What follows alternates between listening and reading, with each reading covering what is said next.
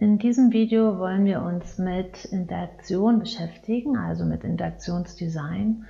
Und hier sind wir inspiriert davon, wie Menschen miteinander interagieren, das heißt von der Kommunikation. Sprich, wenn wir darüber nachdenken, wie der Mensch mit einem Computer optimalerweise interagieren möchte, dann führt das oft zurück zu der Art, wie wir miteinander reden, wie wir miteinander kommunizieren. Und wir schauen uns dafür, um das zu verstehen, in diesem Video ein paar Interaktionstechniken an, begreifen, was Interaktionstechniken eigentlich sind, was sie können und schauen uns dann am Ende das Konzept der natürlichen Interaktion an als ein schönes Beispiel für Interaktionsdesign, das uns quasi erlaubt, mit dem Computer ganz natürlich umzugehen.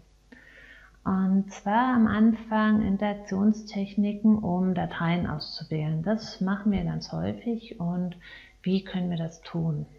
Interaktionstechniken könnten zum Beispiel nämlich sein, dass wir die Maus bewegen, dann klicken und über die Videos ziehen oder aber das erste Video auswählen und dann über Shift das letzte.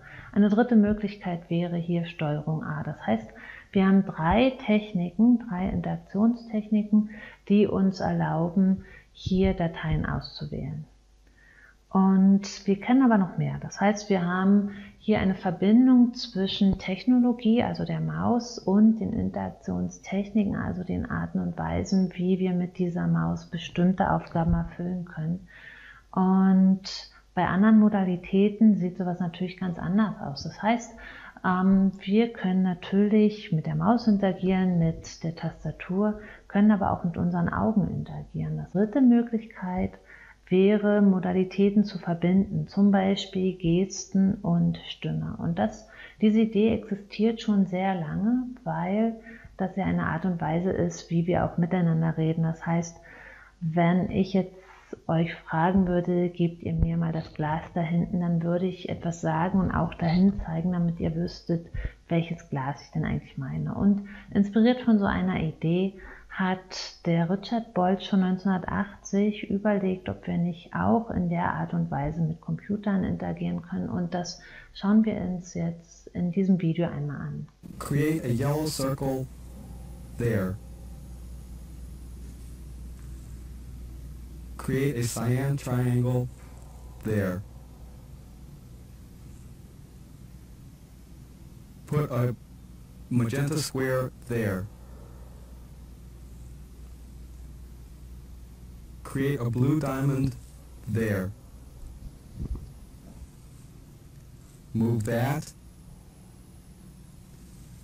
there. Put that there. Move that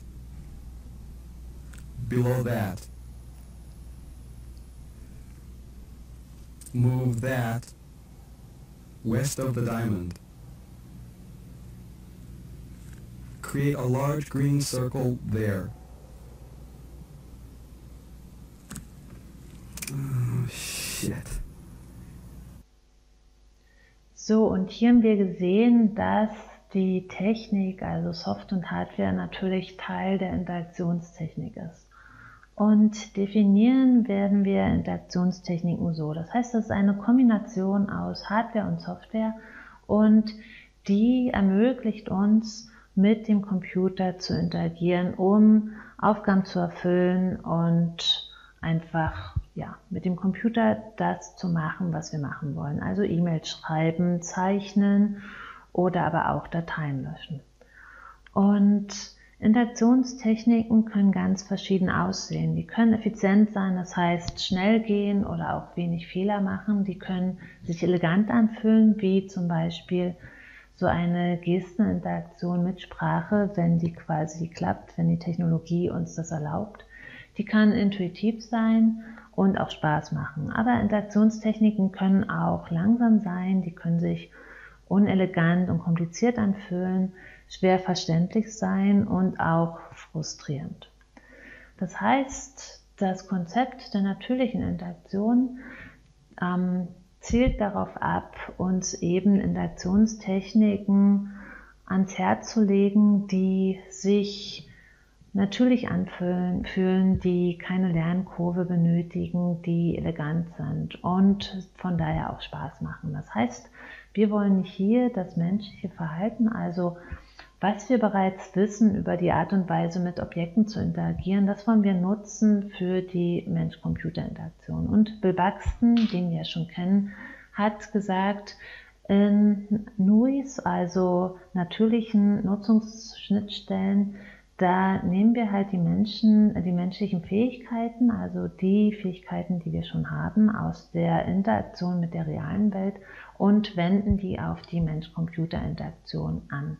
Und wichtig hier ist, den Kontext zu beachten, weil ein Sprachinterface wird erst einmal als natürlich angesehen, weil wir ständig unsere Sprache benutzen, um miteinander zu kommunizieren.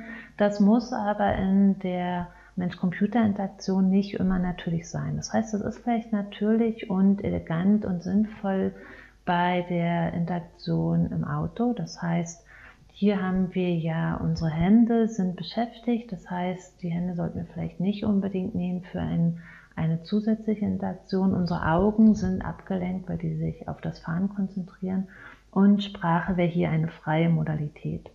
In einem Raum aber, wo mehrere Leute sind, vielleicht auch Leute, die wir nicht kennen oder die vielleicht lesen wollen, ist Sprache weniger geeignet und von daher muss der Kontext beim Design von einer natürlichen Interaktion berücksichtigt werden.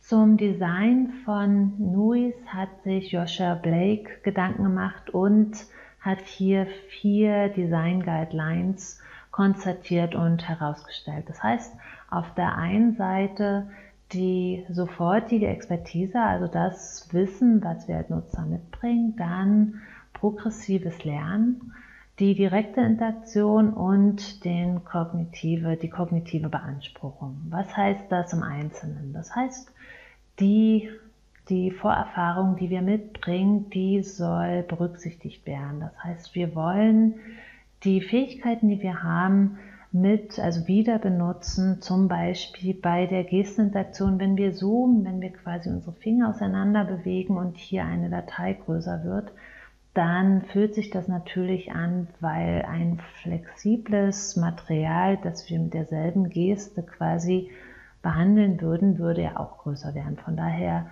ist das ein sehr gutes und äh, sehr oft verwendetes Beispiel für eine natürliche Interaktion.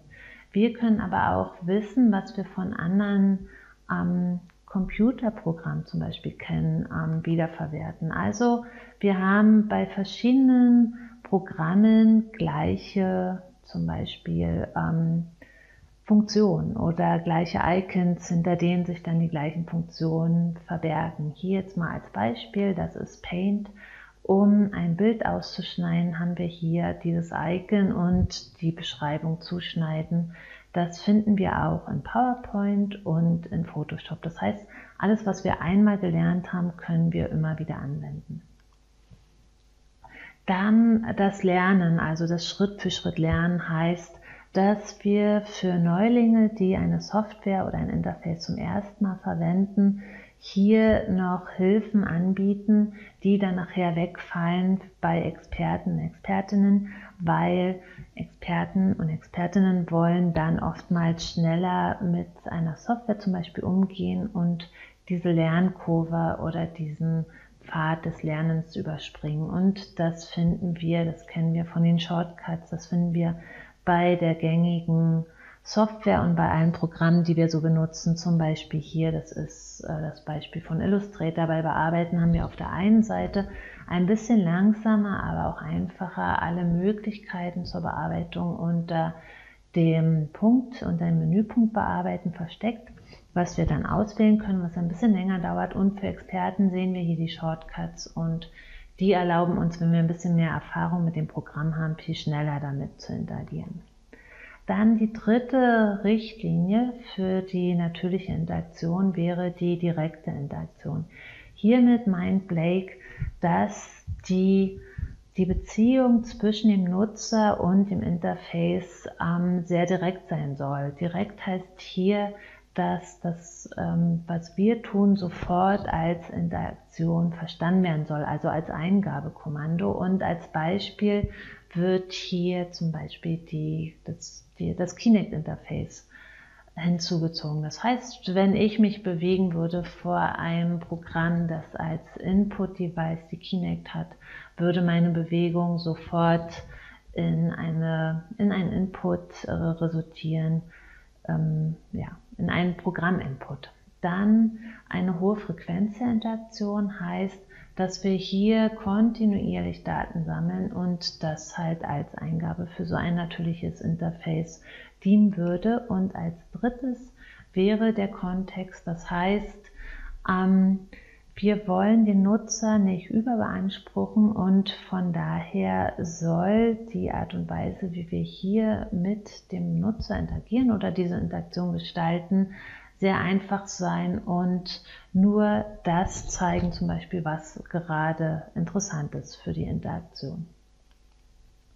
Das vierte wäre, den, ähm, die mentale Beanspruchung minimal zu, heißen, das, äh, zu halten. Das heißt, der Nutzer soll nur ähm, über eigentlich nur daran denken, was er oder sie gerade machen möchte und nicht über das äh, die UI, also das Interface selbst. Das heißt, wenn ich zeichne mit einem Interface, soll ich eigentlich nur an Zeichnen denken und nicht darüber nachdenken, wie ich jetzt den Stift auswähle, wie ich jetzt die Hand bewege, damit der Input adäquat ähm, als Eingabe funktioniert. Das heißt, ich muss auch schnell zeichnen können und mich nicht ausbremsen, weil ich immer denke, ah, kann das Programm mich denn schnell genug trecken?